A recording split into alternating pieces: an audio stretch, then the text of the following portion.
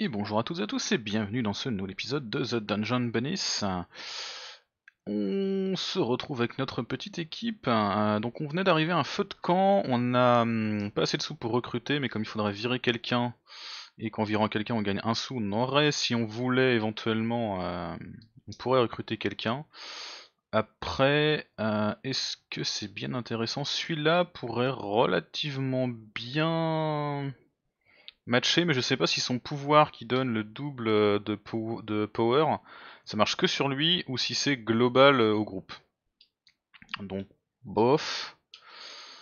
Euh, lui, il euh, vise l'ennemi qui a le moins de vie n'importe où, donc ok, donc il vise celui qui est le plus faible dans tous les cas.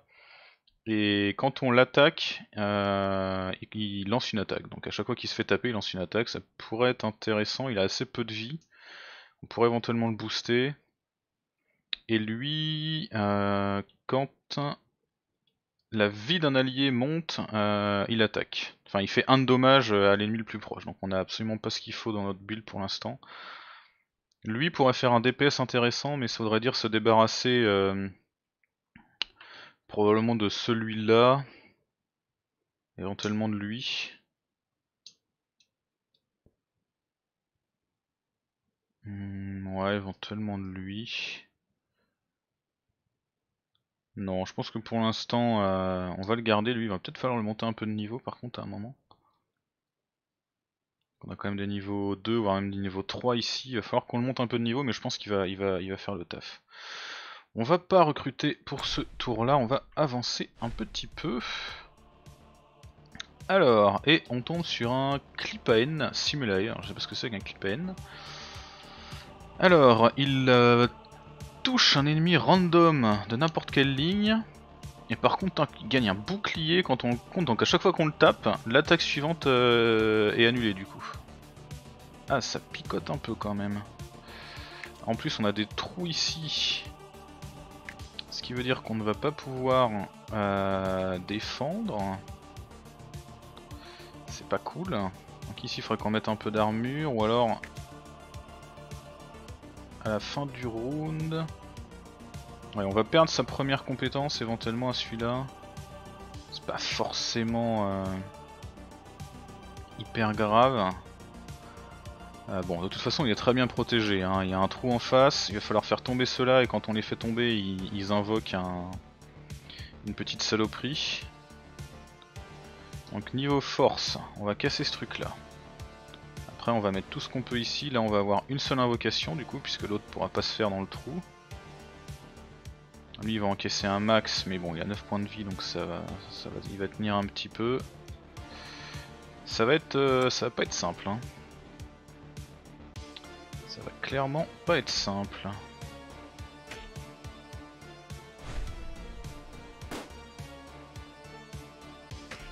S'il va crever très vite en plus. Même s'il va être protégé par euh, l'invocation un peu. Alors, dommage, hein, on perd un peu une attaque là, mais tant pis.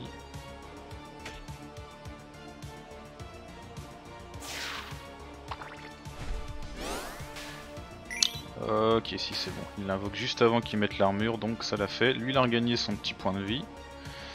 Euh, on n'est pas si mal. On n'est pas si mal. Alors euh, dans l'ordre d'attaque, on va de nouveau perdre une attaque là parce qu'il va attaquer la jarre, mais tant pis, hein, c'est la vie.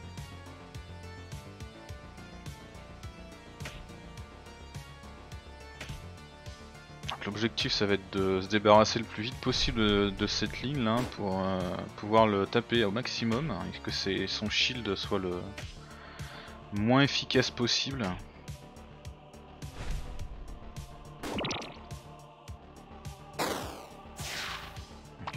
Invoquer une petite saloperie. Aïe aïe, ça a piqué.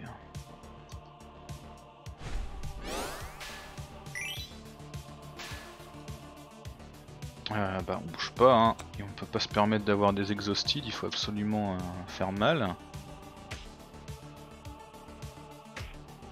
voilà il va attaquer et crever malheureusement.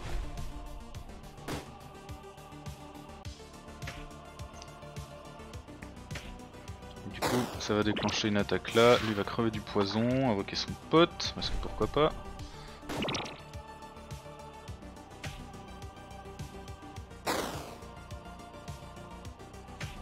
Aïe.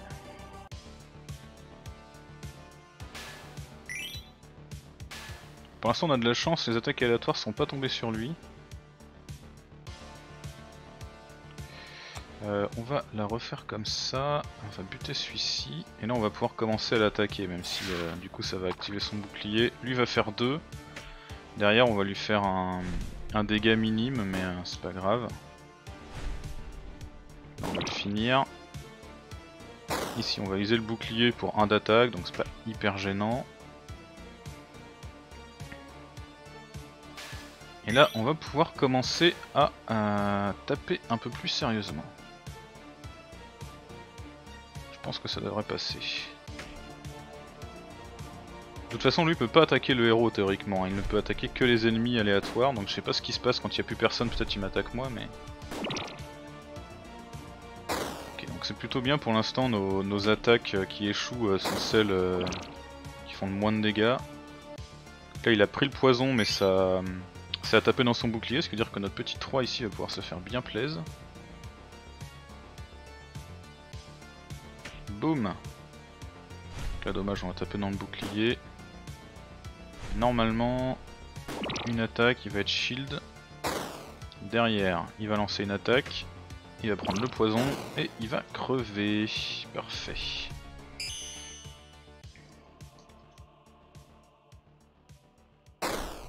Alors c'est dommage, on peut pas monter lui de niveau parce qu'il est mort. Euh, donc on va, euh, bah, on va donner une XP à notre petite euh, mage elfe. Et on a un coffre. Voyons voir ce qu'on a dans ce coffre. Il faudrait vraiment qu'on le monte de niveau lui, hein, ou qu'on lui file des trucs parce qu'il est quand même un peu pourri. Hein. À la fin du tour, gagne plus 1 de puissance, c'est que pour les mages. Est-ce qu'on a des mages qu'on... Oui, lui il a, il a toujours un emplacement vide, donc on peut lui donner éventuellement. Ça fera pas de mal. Niveau suivant. On est, un petit peu avant le boss. Hein. Alors, on a un Progenitor Orb. Donc à la fin de son tour, il invoque deux, deux trucs, deux orbes euh, qui se baladent. Wandering, c'est qui erre. Et on doit prendre aucun dommage de héros. Ah, et on a une tuile spéciale euh, qui affaiblit n'importe quel personnage sur la tuile. Ok. 1, 2, 3, 4, 5, ils vont jouer très vite, donc ils vont nous dépouiller sur la première attaque. Avec un peu de bol, ils vont pas nous tuer quelqu'un. Ok.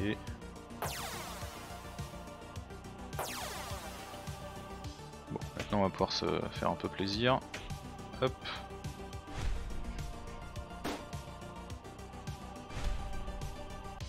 il va en réinvoquer deux.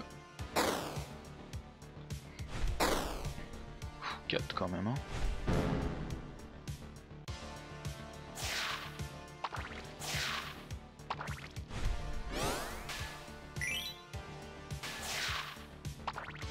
Toutes ces actions qui se lancent. La vache, ok, c'est lui qui va prendre l'affaiblissement au prochain tour, mais c'est pas trop grave. Euh, on va lancer l'assaut, on devrait lui faire mal, là on va pouvoir l'empoisonner en plus le, défoncer. Malheureusement les loups vont être perdus mais ils vont se débarrasser des orbes avant qu'ils s'attaquent. Rien que ça c'est rentable. Est-ce qu'il a quand même 4 de puissance hein, la petite saloperie hein.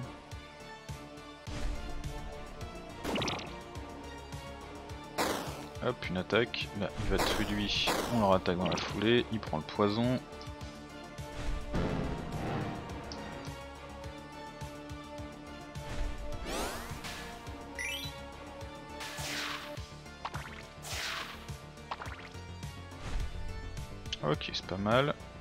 va être affaibli, mais... Euh, d'ailleurs non, il a déjà été affaibli, donc s'il se prend une attaque, il prendra deux fois les dégâts. Voilà, là il s'est pris 2 au lieu de 1. Donc s'il se prend cette attaque là, il va crever, mais c'est pas hyper grave. Il aura fait son taf. il devrait mourir. Enfin, il va se prendre une attaque, mais euh, l'autre va crever du poison. Même pas, il va crever du... de la contre-attaque. Parfait. Et du coup on a le petit bonus. Alors on prend les sous et on va donner la potion d'expérience à lui. Parce que niveau 1, arriver là, c'est pas forcément idéal. On va voir si on peut pas trouver quelques objets intéressants. Alors, qu'est-ce qu'on a? Un petit truc qui donne plus 1 de santé, un... Ah, un anneau qui donne plus 1 d'armure, donc on en a déjà un, on a vu que c'était quand même très intéressant, on va peut-être le filer à lui. Euh, plus 8 de vitesse, ça c'est bien violent aussi. Ça peut être utile sur les héros quand les héros ont une bonne, euh, des bonnes compétences, mais là vu que de toute façon il attaque quand, on quand des alliés meurent, c'est pas forcément gênant. Je pense qu'on va prendre ça et on va le donner à lui. Ça le rendra un petit peu plus costaud en attendant de, de pouvoir éventuellement monter de niveau. Et on va voir le boss. Alors, Simulate Prime. Donc qu'est-ce qu'il fait? Après son attaque, il fait 5 de dommages à tous les alliés et il gagne plus 1 d'attaque. Très bien. Et ça, ça fait quoi? À la fin du tour, ça invoque un simulae, d'accord. Il a 50 PV quand même, le mec. Hein. Euh, bon. Donc il va faire 5 de dommages à lui. Si on lui fait que 1, ça suffit. On va peut-être du coup euh, directement monter là. Histoire de faire un max de DPS sur sa tronche. Après on pourrait aussi euh, mettre elle là, mais là du coup l'armure ne servirait à rien, ce serait quand même un peu dommage. Si elle va servir sur la blessure. on va faire ça comme ça. Lui va faire 1, il va, il va prendre 5 donc il va perdre, il va crever celui-ci. Et là on va pouvoir l'empoisonner le plus tôt possible dans le combat. Ah, bah, si on joue avant lui d'ailleurs, j'ai même pas vérifié, mais vu qu'il l'invoque après son attaque.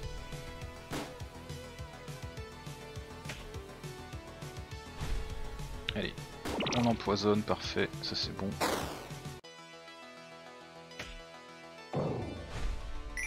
Voilà, donc euh, il, le... il le bute, mais du coup il passe à 2 d'attaque. Et ce machin là va normalement invoquer quelqu'un, ok il l'a invoqué là. Bah, c'est pas si mal parce que c'est cette ligne là où on a notre tank hein, avec son armure. Donc là on va pouvoir se faire bien plaisir sur les dégâts, c'est parti.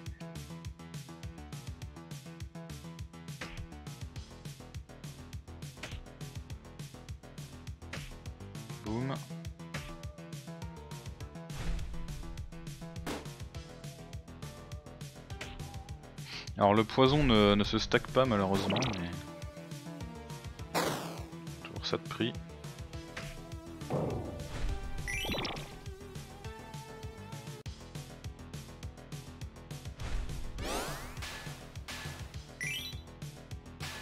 notre petit loup ici va crever à ce tour là, euh, lui va malheureusement nous bloquer le chemin, mais là on va continuer à lui faire du DPS en haut. Grâce au Squire on a quand même un DPS qui est pas dégueu.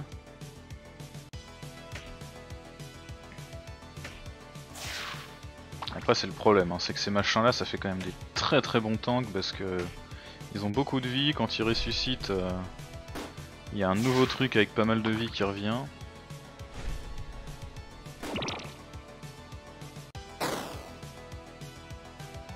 Il va le tuer, lancer une attaque, après il va les bouffer.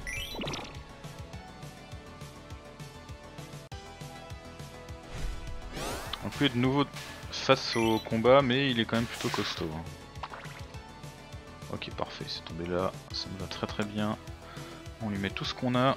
Allez, boum.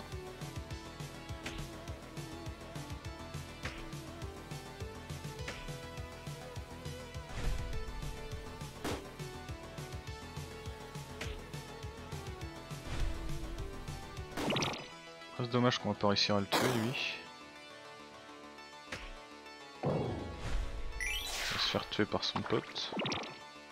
Bon là au moins normalement on devrait réussir à le tuer. On va voir où est-ce que l'autre est invoqué. Bon, bah, dis donc décidément il aime bien cette ligne. Je pensais éventuellement remonter lui là mais euh, il invoque tout le temps en bas donc on va continuer de tanker parce que lui il tiendra pas non plus éternellement s'il se retrouve tout seul, hein, très clairement. Pour l'instant on lui diminue sa vie tranquille. Encore, lui va tenir encore un tour. hein.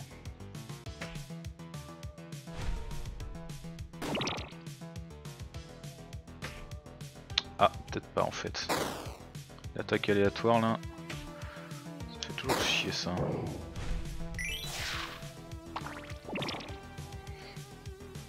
Ok, donc là par contre il va falloir qu'on bouge. Euh, alors on va pas bouger lui parce que j'ai pas envie de perdre son DPS donc on va bouger celui-là, tant pis.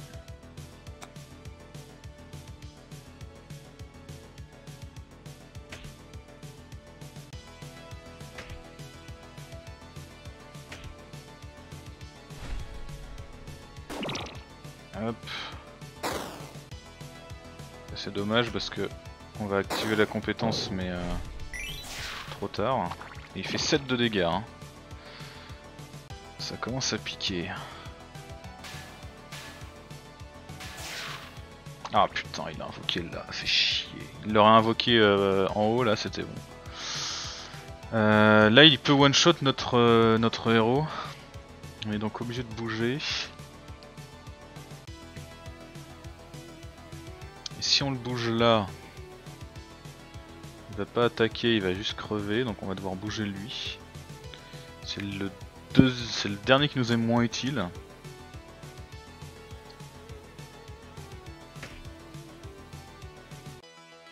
Ouais, le exhausted, euh, c'est très très chiant. hein.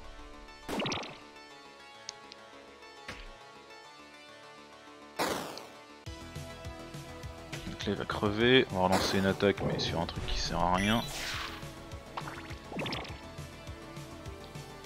Alors il faut qu'on arrive à lui caler deux attaques. Où est-ce qu'il invoque son truc Ah putain, fait chier. Euh, alors là, le problème qu'on a. Lui il attaque des trucs aléatoires. Il faut qu'on encaisse son attaque, faut qu'on lui fasse un de dégâts, qu'on encaisse son attaque. Veut dire que toi tu vas devoir rester en haut et lui il va devoir monter ici et pas attaquer parce que de toute façon ce truc là n'attaque que forcément ces deux là donc il faut qu'il encaisse ici. Et derrière il va mourir du poison normalement. Ça va être juste juste juste. Très très juste. Voilà. Donc ici, voilà, il attaque un truc aléatoire. Oh non, putain, il a tué celui qui était devant. Oh non. Fallait qu'il attaque tout le monde sauf celui-là. Et bah dommage. C'est passé tout tout tout tout près, tout tout près, mais on s'est fait euh, défoncer. Alors du coup quand on meurt, on récupère, euh, enfin on gagne de l'XP pour tous les trucs qu'on a fait jusqu'à là où on a été. Et euh, bah, quand on arrive à remplir la jauge, on débloque des, des choses qu'on va pouvoir utiliser en fait. Soit des objets qu'on va pouvoir acheter aux marchands, soit des hum, unités spéciales qu'on va pouvoir euh, utiliser. Euh, et ben on va réessayer, on va réessayer. Alors qui on a? On a moyen d'avoir Eloa, euh, la dernière astronome. Alors, après son attaque, elle donne un allié dans la ligne plus 1 de power et elle est inépuisable, ça c'est cool. Et elle a l'épée de l'arbitre. Au début du combat, notre héros gagne plus 3 de power. Ok, pourquoi pas. Sinon, on a de nouveau celle qui nage seule. Et cette fois, elle commence avec l'essence collector. Ah, ça c'est très puissant avec son truc. Parce que ça, en fait, quand un allié meurt, ça invoque un Blood Wisp, donc c'est un, petit, truc.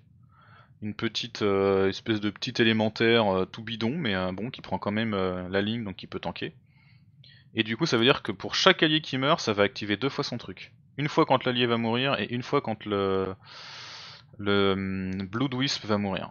Donc je pense qu'on va la reprendre, juste parce que cet objet-là est, complètement, euh, complètement efficace dans son cas. Alors, donc... Ah, tiens, cette fois il nous donne de l'or. C'est la première fois qu'il me fait ça. Il nous dit essayez de faire un peu plus attention cette fois. Ah, c'est peut-être parce qu'on a repris le même héros. Alors, on commence avec un archer lézard. Quand un allié meurt, il gagne plus 2 de puissance. Bah très bien, on, est plutôt sur, euh, sur une compo de gens qui meurent. Très très bien. Et on va tout de suite s'enfoncer dans les profondeurs du donjon. Alors, lui qu'est-ce qu'il fait? Il attaque un personnage aléatoire n'importe où. Très très bien. Bon bah la première compo est assez simple, hein, de toute façon on protège, tout le monde est à 1. Pour éventuellement se mettre là pour euh, faire un petit peu plus de DPS, ça mange pas de pain. Boum.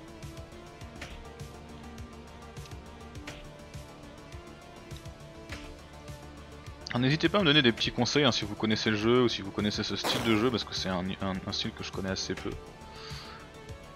J'essaye de faire euh, ce qui me paraît un peu près intelligent mais... Euh, c'est pareil, il y a tout un tas de builds euh, à monter basés sur les unités invoquées ou sur d'autres trucs. Vous voyez, pouf, on a un petit machin qui, qui, pop et qui nous continue de nous protéger du coup.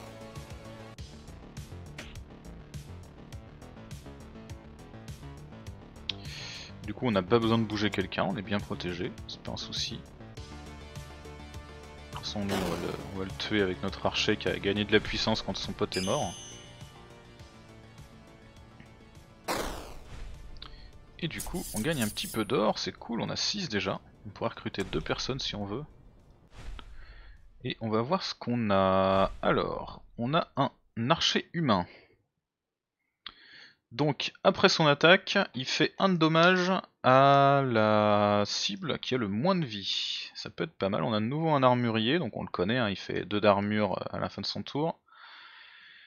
Et là on a un petit euh, combattant gnome qui peut mettre du poison et qui est assez intéressant parce qu'il est infatigable, donc on peut mettre du poison assez rapidement partout. Je pense qu'on va prendre celui-là. Et je me tâterai éventuellement, mais non, avec cette compo il nous faudrait des tanks, donc euh, on va pas prendre l'archer. On va rester comme ça pour l'instant. Et on tombe sur Futterbite, avec ses saloperies de euh, gobelins. Donc on va faire 1, 2, 3, 4, ok très bien. Donc on va pouvoir empoisonner celui-là, après empoisonner celui-là.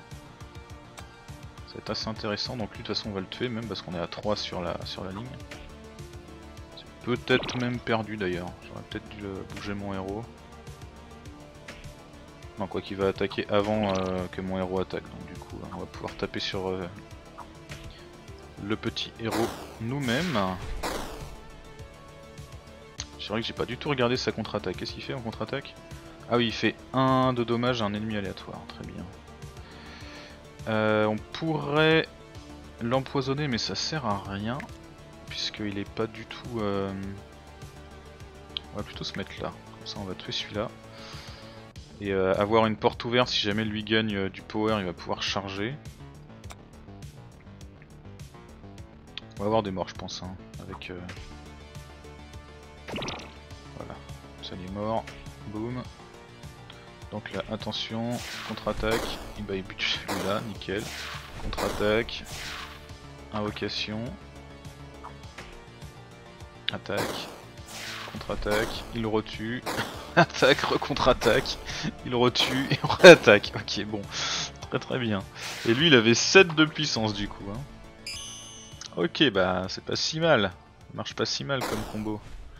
Faut bien se placer, mais c'est pas si mal. Donc lui, on peut pas lui donner d'XP parce qu'il est mort. Je sais pas s'il est mort. On va donner d'XP à l'archer de toute façon. Et on a alors, des... D'accord. Des gants en arme, des gants en armure. On donne plus 1 de vie et on démarre la bataille avec 1 d'armure. Euh, on va le donner à lui, je pense. Lui, on va, il va souvent être derrière, donc c'est pas très utile. Lui, éventuellement, pourrait tanker. Mais c'est clairement eux les plus faibles. Pour l'instant, en tout cas. Alors, quand un allié de type bête meurt, il invoque un rat et il faut que notre héros ne prenne aucun damage. Très bien. Alors... Euh... Ah, il attaque assez vite l'autre, donc ce serait un peu dommage. On va mettre celui-là là. Histoire de taper sur le... Ouais, on va mettre ça comme ça, on va essayer de faire tomber la, la construction qui est pas un allié de type bête. Là on va l'empoisonner donc il va fatalement mourir à un moment mais c'est pas super grave. De toute façon on est obligé. Il est inex donc je pense qu'on va derrière on va redescendre le follower et essayer d'empoisonner celui-là.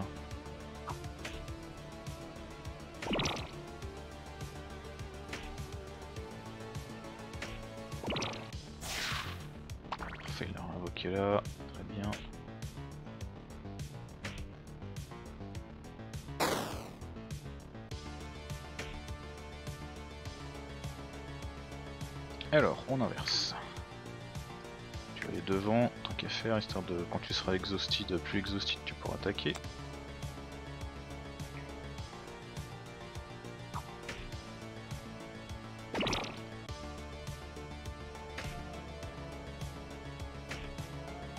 Alors là, il va invoquer quelqu'un ici, ok c'est pas si mal, juste en face de là où on, a on est le mieux.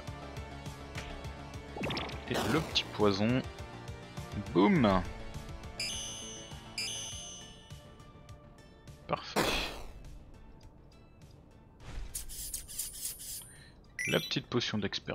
au lézard.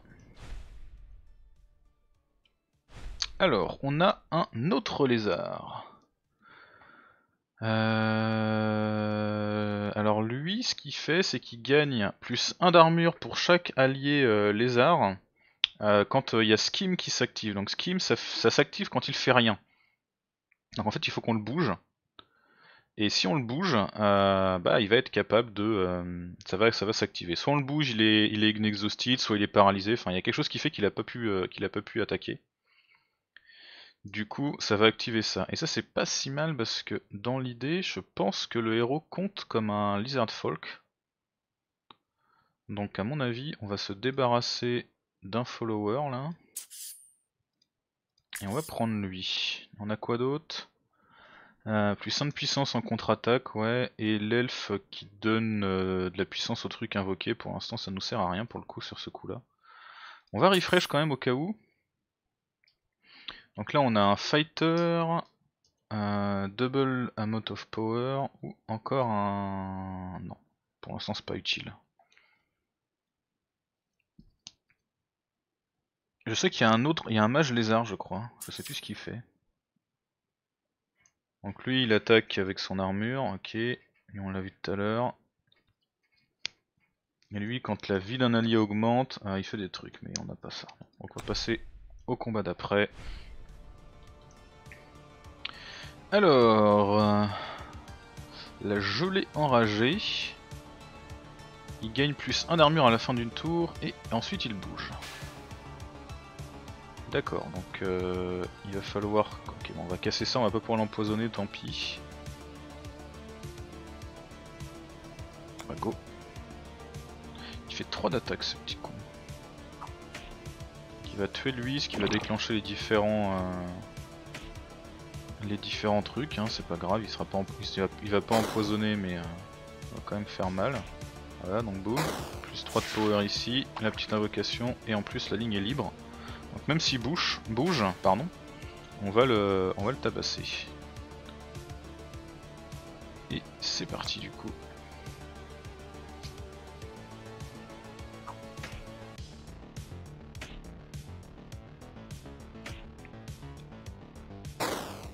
Boum. Le petit machin qui fait ça en taf, hein, ça fait quand même un de dégâts. Hein. C'est pas neutre. Parfait, il revient devant, donc il va attaquer celui-là et redéclencher, euh, redéclencher les compétences.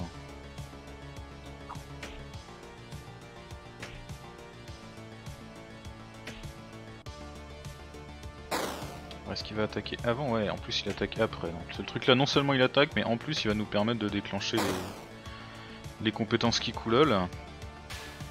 On va crever, pas besoin de s'embêter. Boum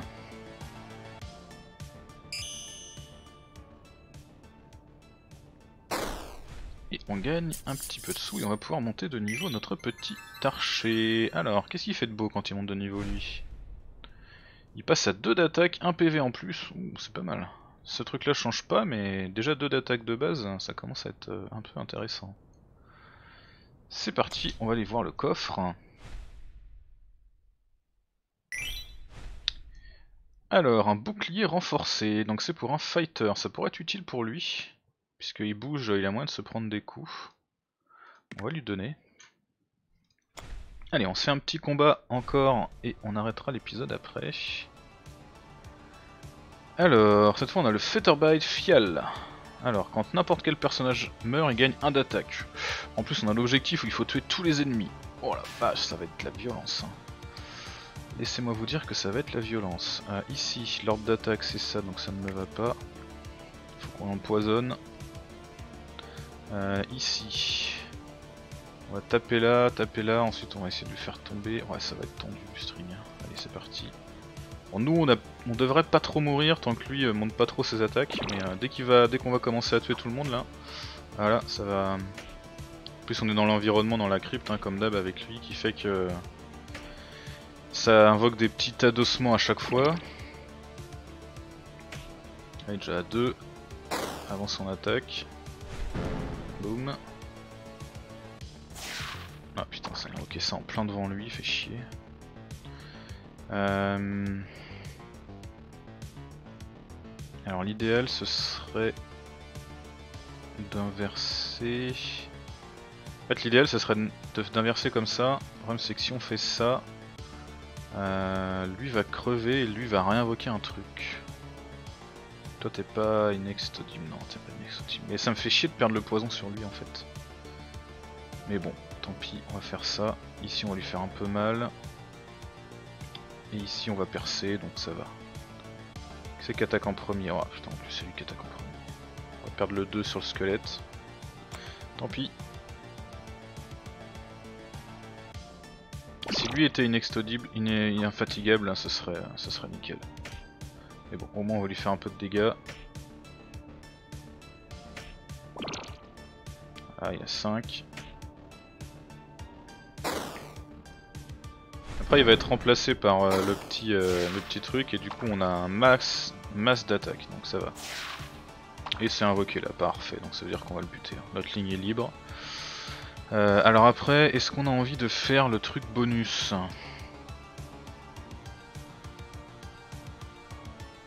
On peut. on peut, on peut. Ici on va attaquer ça, on va le détruire. Il faudrait pas que lui attaque. Donc il faudrait qu'il vienne là. Et au prochain tour on pourra... Euh, là on va encaisser avec lui. on va faire 3 de... on va faire 3 d'attaque là. Il va falloir qu'on le recule lui. Là on fait 1, là on va faire 1. On va pas le tuer mais au prochain tour on pourra le tuer. Ici on fera qu'une seule attaque, lui va crever, on va refaire un dégât, ça devrait passer.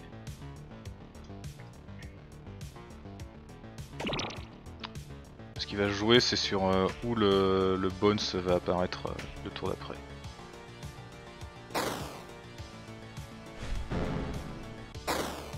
Voilà. D'accord, alors. Il va falloir réfléchir, il va falloir que on te pose ici. Ensuite un. Donc lui va attaquer, va tuer ça. Ensuite le deuxième il va attaquer, il va tuer ça. Et après 4-5 on pourra finir le boss. Ça me paraît pas mal. Ça me paraît pas mal. C'est parti. C'est pour ça que les des fois rendre les. Enfin fatiguer les, nos propres troupes peut être utile. Hein. Et on a réussi le bonus. C'était pas couru d'avance, hein, parce qu'on est un peu obligé de sacrifier des gens quand on fait ça. Euh, une potion d'expérience, j'aurais bien voulu la filer à lui, mais malheureusement il est mort, donc on va la donner à lui. Euh, c'est juste avant le boss, on va essayer de voir si on peut pas trouver mieux que ce petit péon là. Un mec qui invoque non. Alors ça, ça peut être très intéressant aussi pour améliorer notre... Notre euh, combo où euh, il y a plein de trucs qui se passent quand des gens meurent, on pourrait prendre lui, qui fait que euh, quand... Ah non, c'est quand un, un, ennemi meurt, pardon, excusez-moi. C'est quand un ennemi meurt, il fait des dommages à un ennemi random. Il est très très puissant sur les, sur les premiers niveaux, lui. bon, sachant qu'on est déjà quasiment au niveau d'après. On va quand même le prendre, je pense. Lui nous sert à rien. Lui est clairement pas, pas dans notre trip. On, va prendre lui, on a plein de sous, hein, donc on va prendre lui, je pense. Pour... Euh... Merde, je lui avais donné un objet, je l'ai pas repris. Bon bah tant pis, c'est pas grave. Euh, on a perdu l'objet, c'est pas la mort. On va le protéger hein, par contre, parce qu'il faut tuer des ennemis pour qu'il fasse des trucs. Allez, on va voir ce que ça donne. Déjà si on arrive à passer ça, on a le euh, Colossus qui attaque deux fois. Et il a des petits trucs à chaque fin euh, de. à chaque fois qu'il attaque, il invoque un petit truc squelette, d'accord, très bien. Bah déjà la bonne nouvelle c'est qu'au moins on est en plein sur son chemin, donc on va pouvoir euh, l'empoisonner instantanément. Par contre euh, on va manquer de puissance pour le reste. Hein. Va falloir qu'on l'empoisonne, ensuite qu'on bouge lui. Comme ça il va gagner de l'armure. Ouais, on va faire ça, c'est parti. Et là on va tanker avec l'archer qui va buter celui-là en deux tours.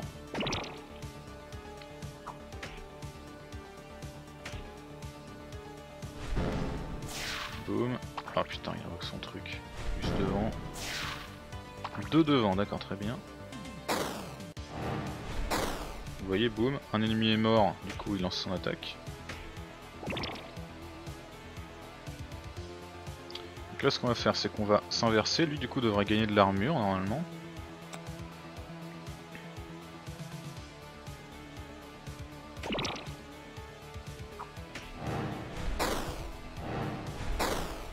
Vous voyez pourquoi c'est efficace, hein. ça nettoie le, champ de bataille euh, assez ouf. Ok, donc il a gagné 3 d'armure. Donc 1, 2, 3, parfait. Ça veut dire que le héros compte bien comme un Lizard Folk. C'est plutôt cool. Euh, là on reste sur place. Bon ce truc là lui nous servira plus à rien de maintenant donc il va juste tanker. Donc il est très bien là, ouais on est très bien comme ça. On a nos beaux DPS qui sont sur les côtés. Et au milieu on a nos tanks pour euh, résister à ces, doubles attaques là.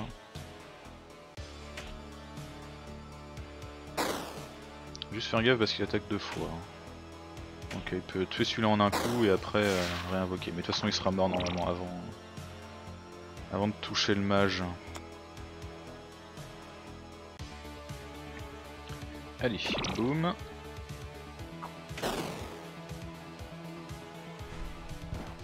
J'avais dit que je m'arrêtais, mais je ne me suis pas arrêté, il est très prenant ce jeu.